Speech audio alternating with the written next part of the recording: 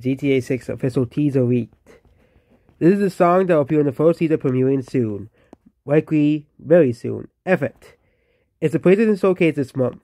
Guess what happens when you're by over 11 months million units sold? The series Mr. Fired.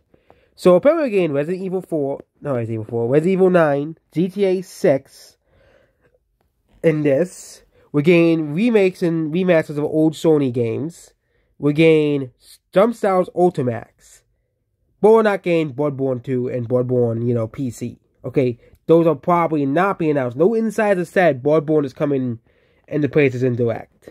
Okay, no one said that. Only these, you know, people who, and even then, Bloodborne PC will be seventy dollars most likely, or Bloodborne remake will be seventy dollars. Because Sony's gonna probably want to get that extra ten dollars out of the Bloodborne fans who obsess over that game. So let's make this video here. Goodbye.